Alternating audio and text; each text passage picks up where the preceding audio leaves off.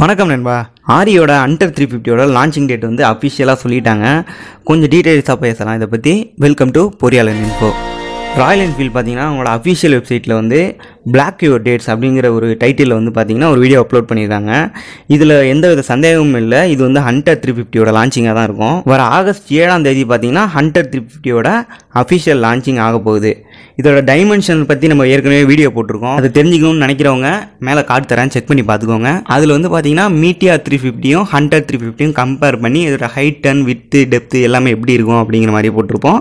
Check பண்ணி பார்த்துக்கோங்க இப்போது இது வந்து புதுசாக வந்திருக்க ஸ்பை ஷாட்டு இதில் பார்த்தீங்கன்னா இதோட கலர் டோன் வழக்கம் போல் ராயல் என்ஃபீல்டில் எக்கச்சக்கமான கலர் வேரியன்ட் வரதுக்கு வாய்ப்பு இருக்குது இந்த கலர் டோன் பார்த்தீங்கன்னா ஹிமாலயன் ஸ்கிராம் இருக்கும் இல்லையா? அதில் டியூட் டோன் இருக்கும் பாருங்கள் அதே மாதிரி இருக்குது லட்டரிங் கூட அதே மாதிரி தான் இருக்குது இதில் பார்க்கும்போது. இதோட எக்ஸாஸ்ட்டை கொஞ்சம் பார்க்கும்போது பார்த்தீங்கன்னா கொஞ்சம் டிஃப்ரெண்ட்டாக ஒரு ஆங்குலராக இருக்குது எப்படி இருக்குன்னு சொல்லிட்டு பார்த்தா தான் தெரியும். ஒரு வேளை ஃபோட்டோவில் எப்படி தெரியுதா? எப்படி இருக்குன்னு தெரியல. டேரெக்டாக பார்க்கும்போது தான் நல்லா தெரியும். ஒரு சில பேர் கேட்டுட்டு இருந்தாங்க இதோட மிட்கார்டு வந்து மெட்டலா இல்லை பிளாஸ்டிக்கா அப்படின்னு சொல்லிட்டு இதில் எந்த ஒரு சந்தேகமுமே தேவையில்லை.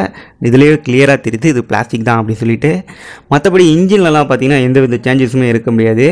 ஜே சீரீஸில் வரக்கூடிய Meteor three fifty classic three fifty அதில் வர ரெகுலர் இன்ஜின் தான் இதுலேயும் கொடுப்பாங்க. ஹண்ட்ரட் த்ரீ ஃபிஃப்டி பேட்சிங்கு ராயல் என்ஃபீல்ட் பேட்சிங்கு எல்லாமே நல்லா இருக்குது பார்க்கும்போது.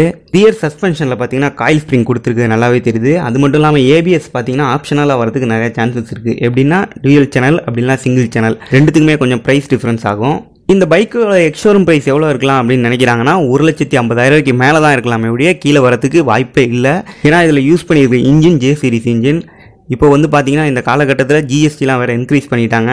அதனால ரொம்பவும் நம்ம எக்ஸ்பெக்ட் பண்ண முடியாது. இந்த பைக்கோட விலை ரொம்பவும் கம்மியாக இருக்கும் அப்படி சொல்லிட்டு ஒரு ஆவரேஜான லெவலில் இருக்கலாம் அப்படின்னு எதிர்பார்க்குறாங்க. நம்ம ஏழாம் தேதி வரைக்கும் வெயிட் பண்ணி பார்க்கலாம். எப்படியும் லான்ச்சிங் வந்து ஆன்லைனில் இருக்கிறதுக்கு அதிக வாய்ப்பு இருக்குது உங்களுக்கு வேணும்னா நியர்பையில் உள்ள டீலர்ஷிப்பில் காண்டாக்ட் பண்ணால் கூட உங்களுக்கு பைக் கிடைக்கலாம். டெஸ்ட் கூட அனௌன்ஸ்மெண்ட் பண்ணலாம். இதுக்கு நம்ம ஏழாம் தேதி வரைக்கும் வெயிட் பண்ணி தான் பார்க்கணும்.